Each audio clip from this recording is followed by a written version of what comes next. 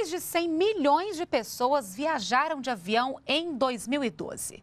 No total, 101 milhões 354 mil usuários embarcaram em voos domésticos e internacionais. O número é quase 10% maior do que o registrado em 2011.